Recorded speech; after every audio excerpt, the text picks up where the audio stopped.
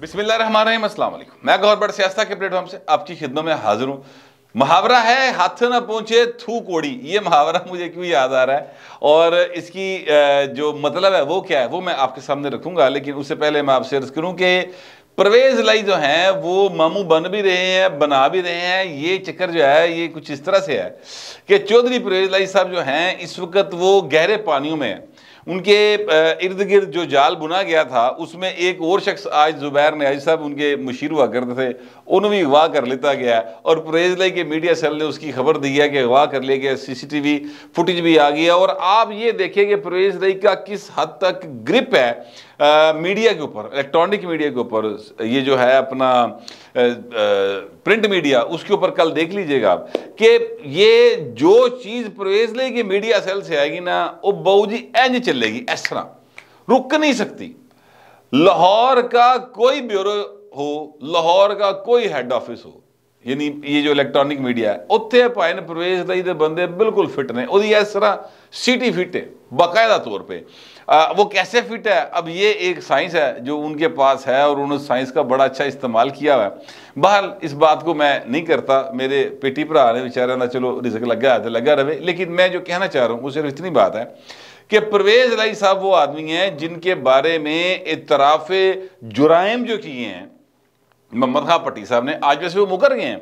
वो उनको अदालत में पेश किया गया, अदालत ने उसको जुडिशल कर दिया है। लेकिन वो मुकरन के बावजूद ऐसे वाकयाती शाहिद हैं जो मैं आपके सामने रख सकता हूँ, जिसके नतीजे में आपको पता चलेगा कि जेडे गल्ला ने ना पाए ना, वो दाल च काली वाली गल नहीं है सिर्फ़। वो पूरी दाल ही काली वो मैं आपके सामने भी रखता हूँ, लेकिन मैं आपसे अर्ज़ करूँ कि परवेज लाई साहब ने के मीडिया सेल से वो चीज़ें आई जिससे जिसको यानी टिक्कर आए, चीज़ों से मुरादा टिक्कर आए, वो फुटेज आई जो उस ज़ुबैर ने साहब को, जो उनके सबका मुशीर थे, वो जब उनको ले जाया गया तो भाई ना, उससे टाइम तड़ा तड़ जड़ा ना, सारे टीवी ने, जियो टीवी समेत सबने उसको एयर कर दिया।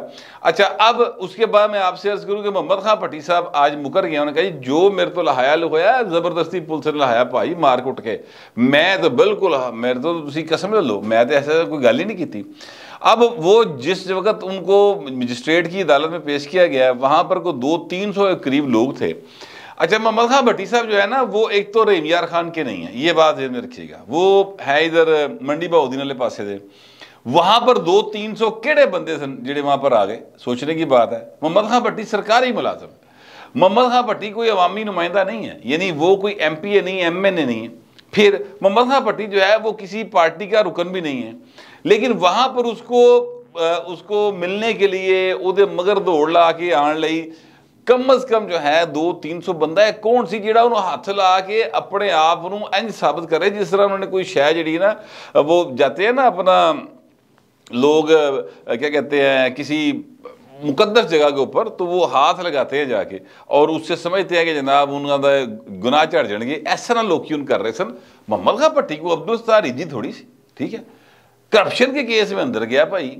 और सारी ज़िंदगी जो है उनकी वो इस तरह से गुजरी है जैसे क्या कहते हैं मतलब ना ही बंदा ना लवे दे, चलो छोड़ते उस बात को। हाँ ये बात ज़रूर है। मैं सेक्रेटेरिएट गया हुआ था और वहाँ पर मेरी एक दो लोगों से मुलाकात हुई। वो डिप्टी सेक्रेटरी लेवल के लोग हैं कुछ इस तरह के। और उन्होंने ये कहा कि जनाब, साडा तो रहा बॉस हो। सीधी जी गल है। तो हम तो जो है ना उन्हें साडा पेटी भरा है ਅਸੀਂ ਤਾਂ ਧੜਾ ਕੁੱਟਣਾ ਮੈਂ ਕਿਹਾ ਯਾਰ ਉਹ ਤੇ ਅੰਡਰ ਮੈਟਰ ਕੇ ਤੁਸੀਂ ਤੇ ਮਤਲਬ ਡੀਐਮਜੀ ਪਾਸ ਕਰਕੇ ਆਏ ਹੋ ਠੀਕ ਹੈ ਉਹ ਕਹਿੰਦੇ ਨਹੀਂ ਠੀਕ ਹੈ ਜੀ ਭਾਈ ਪਰ ਸਰਕਾਰੀ ਮੁਲਾਜ਼ਮ ਤੇ ਆ ਨਾ 22ਵਾਂ ਗ੍ਰੇਡ ਆ ਕੋਈ ਰਿਵਰਟ ਨਹੀਂ ਕਰ ਸਕਦਾ ਕੱਲ ਆ ਕੇ ਫਿਰ ਕਿਤੇ ਲੱਗ ਜਾਵੇ ਤੇ ਸਾਨੂੰ ਕੀ ਲੋੜ ਹੈ ਅਸੀਂ ਉਹਨਾਂ ਵਿਗਾੜਦੇ ਫਿਰੀਏ ਇਹ ਹੈ ਸਰ ਅਸਲ ਬਾਤ ठीक है अब वहां पर लोगों का रश है और ये सारी फुटेज जो है ना और उसके सारे टिकर्स जो है, वो मुस्लिम लीग काफ का मीडिया सेल जारी कर रहा है। अगर मोहम्मद खान पट्टी के साथ चौधरी परेज दई दी, कोई सीटी मीटी नहीं गई कोई पैसों का लेन देन नहीं गा कोई ऐसी चीज़ नहीं है, कोई यानी रिश्तेदारी भी नहीं है तो फिर ये इतनी मबताएँ क्यों? वो क्यों जारी कर रहे हैं? ये वो वाकयाती शहादत है, जिसको अगर सिर्फ़ मद्देनज़र रख लिया जाए तो बहू जी एदा हर शह जी ना वो फड़ी जा सकती है। लेकिन चूँकि ये पाकिस्तान है, पाकिस्तान की सियासत है, पाकिस्तान की अदालत है, पाकिस्तान की रियासत है, यहाँ पर अखी दे के भी मक्खी खाधी जाती तो मलदा कोई नहीं। एक अजीब साइंस है इस मुल्क दी ना इस सोसाइटी की अजीब व गरीब नॉर्म्स हैं। और ये जो चौधरी प्रवेश दाई एंड कंपनी है इनके आ, इनको इन सारी चीज़ों का बहुत अच्छे तरीके से पता है। इन्होंने इनके जजों के साथ ताल्लुकात वो जज ट्रक कला वो क्या नाम है उनका सॉरी नकवी साहब जो हैं, ठीक है? उनके साथ आपने बे, जो उनकी आपस में एक दूसरे के साथ फ्रैंकनेस है, वो लेवल आपने देख ही लिया है। वो खलो तो सही यार मैं ना की पे करना, ये लेवल जज के साथ है। ए जज को महल का शीर फरोश नहीं है, ये जज जो है, ये सुप्रीम कोर्ट के जज साहब है, उनके साथ उनका ये लेवल है। फिर उधर पूरी है लो लगी एफ़ आई ए में इनके बंदे हैं। इवन नैब के अंदर, मैं एक ऐसे आला को जानता हूँ, जो सर इनका बाकायदा बाकायदा बचा है प्रोज कंपनी का। मैं आपको इसका सबूत भी दे सकता हूँ, अगर को मेरे पूछेगा तो मैं भी दस सकना।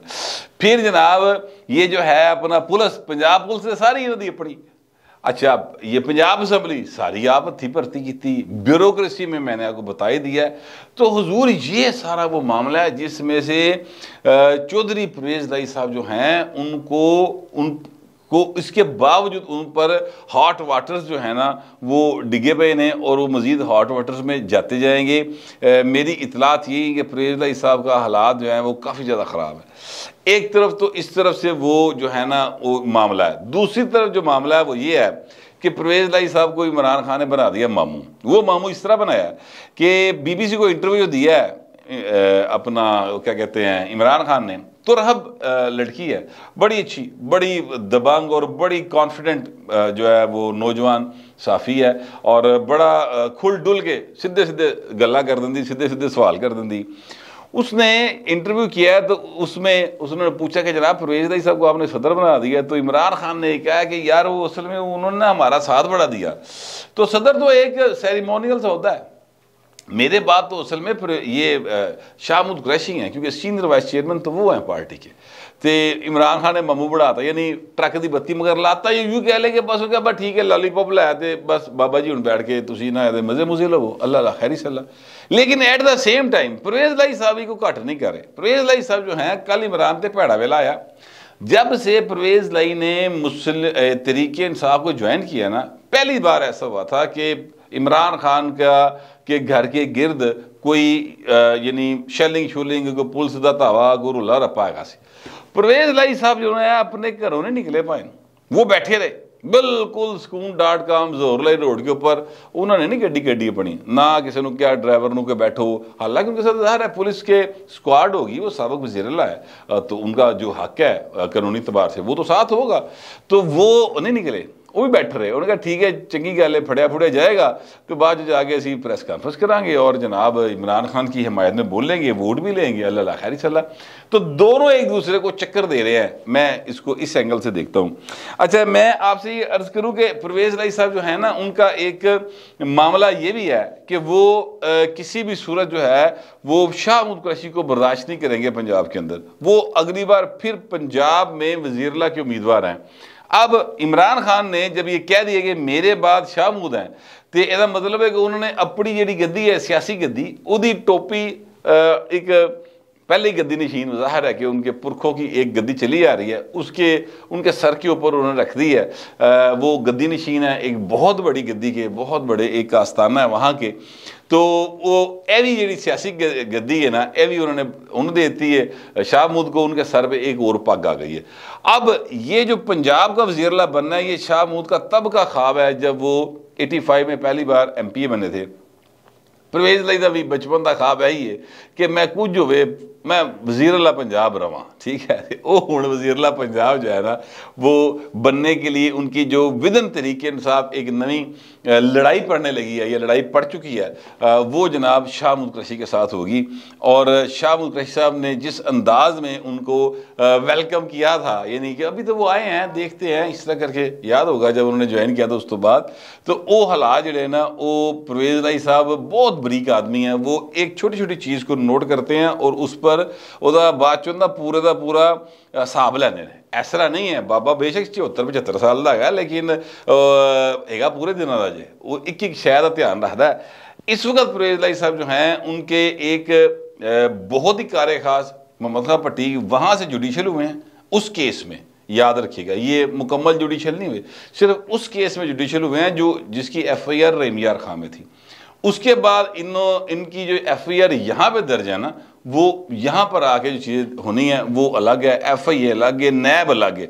तो चीज़ें काफ़ी ज़्यादा हैं हॉट वाटर जोन के लिए। लगता ही है कि प्रेज लाई साहब का इसमें काफ़ी कम इम्कान है कि वो बच सकेंगे। ऊपर से जुबैर साहब जो हैं, वो उनको कहते हैं, अगवा कर लिया हो। सकता है कि दो दिन बाद शुमाली इलाकों की सैर तो वापस आ जाए। मुझे नहीं पता, मैं तो एक अंदाजे के तौर पर गल कर रहे हैं।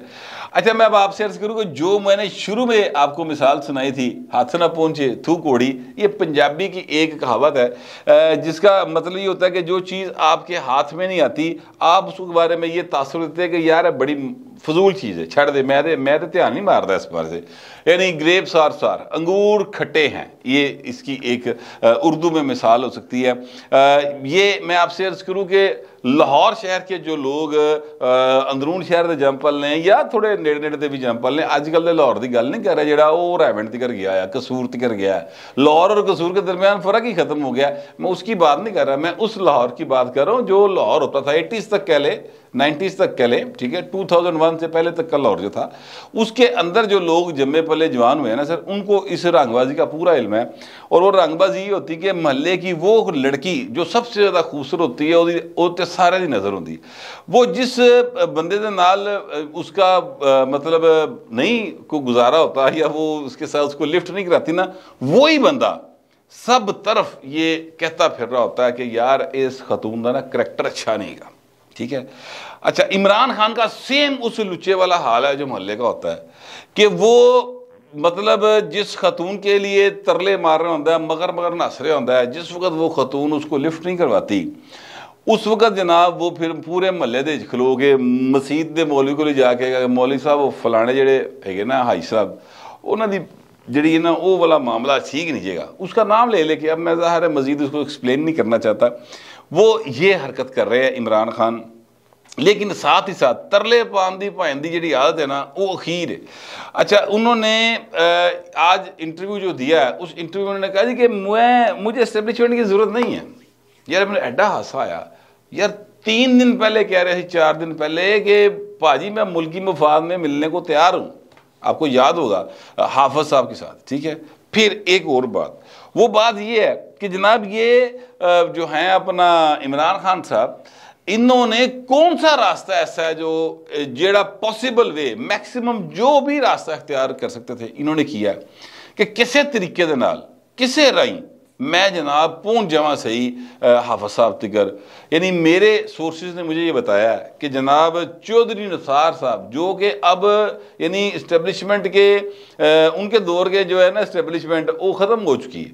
इन्होंने उन्होंने भी तरला मारा कि यार चेक कर तेरा कोई थोड़ा रिश्तेदार भांजा भूंजा जरा अभी भी कुछ किसी अहम सहीच के ऊपर है तो मेरा को सलाम तो दोबारा करा दे यार पढ़ के यहाँ तक तरले मार रहे हैं पर उदो जिसले घा नहीं पै रहे ना तो कह रहे ने ना ਇਹ ਤੇ ਕੋੜੇ ਨੇ ਇਹ ਤੇ ਨਹੀਂ ਨਹੀਂ ਇਹ ਤੇ ਅੰਗੂਰ ਖੱਟੇ ਆ ਸਰ मैं बिल्कुल फजूल चीज़ है गला ख़राब हो जाता भाजी इस पास जान की लड़ कोई नहीं ये हरकत जो है ये इमरान खान साहब कर रहे हैं लेकिन अब अच्छा एक बात और इसमें ये भी बात जहन में रखिए ये जो है अपना साकम निसार साहब उनके साथ इन्होंने कुछ दिन पहले व्हाट्सएप पे बात की थी। साकब निसार वैसे बाय द वे व्हाट्सएप की वे, के हैक होने के बाद काफ़ी परेशान है। लगता है कोई काफ़ी जरा ना कोई, क्या कहते हैं वो, गंदियाँ जी कोई शैवा उन्होंने गल् गुल् कोई वीडियोज़ को ऑडियोज़ व्हाट्सएप है। इन्ना परेशान नहीं होना चाहिए माशाल्लाह देखे ना, अब सत्तर साल तो उनकी भी उम्र हो गई होगी, ठीक है? तो इस उम्र का बंदा जो है, उसके व्हाट्सएप में से तो ऐसी चीज़ नहीं निकलनी चाहिए ना जो जिसमें वो परेशान हो। या कोई इस तरह की चीज़ होगी, बाबा शायद थरकी हो गया है, या वो वाला मामला होगा। एवं मैं अंदाजे ला रहे हैं, मैंने कुछ नहीं पता है या फिर यह है कि इमरान खान के साथ उनकी जो गुफ्तु हुई है, या कोई इस तरह की बातें हुई हैं, वो ऐसी हैं कि जो अगर सामने आ गई तो साखा निसार साहब की सारी पोजीशन ख़राब हो सकती है। काफ़ी परेशान है जवेद चौधरी से मुलाकात की है उन्होंने, और उसमें उन्होंने ये बातें की हैं।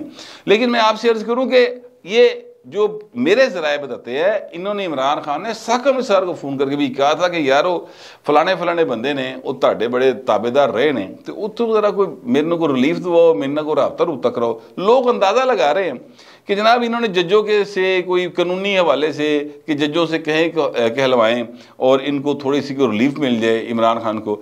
तो वो तो ऑलरेडी जजों की तरफ़ से थे, इमरान खान सर मतलब लुटिया पाने वाला सीन है। वो तो इमरान खान इतने कॉन्फिडेंट होते हैं अदालत के हवाले से कि वो जज ने कहते हैं कि तू बाहर आ गया ज़रा थोड़ी देर लिए उनका वकील जा कहता है, एक बार नहीं, कई बार उन्होंने बात की है। आज भी देखिए ना, जो जिस कानून के तहत पाबंदी लगी अल्ताफ सैन के ऊपर, ठीक है, और ये जो अजहर सदीक साहब हैं, इन्होंने पाबंदी लगवाई थी। और नकवी साहब जो उसके लाहौर हाईकोर्ट के जस्टिस थे, उन्होंने लगवाई थी। उन्होंने लगाई थी, उन्होंने क्या ऑर्डर थे, ठीक है? तो इस वक्त वो सुप्रीम कोर्ट के जस्टिस है। तो वही कानून जो है, वो इमरान खान पर लागू किया गया तो लाहौर हाई कोर्ट ने कहा, नहीं सर, नहीं लग सकती।